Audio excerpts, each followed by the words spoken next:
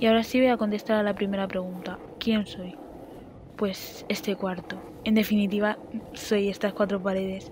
Espero que disfrutes mucho de la exposición y gracias por escucharme. Salam alaikum. Ah, pues no parece difícil, ¿no?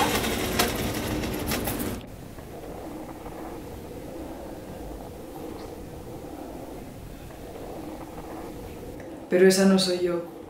Ninguna será como yo.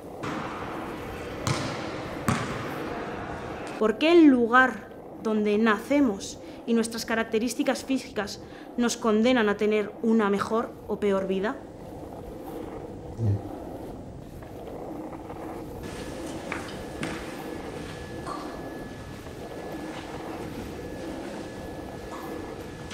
Pero yo pienso que mi color de piel me define. Por ejemplo, si yo fuese blanca, esa señora de la que todavía me acuerdo no me habría pedido amablemente que volviese a mi país.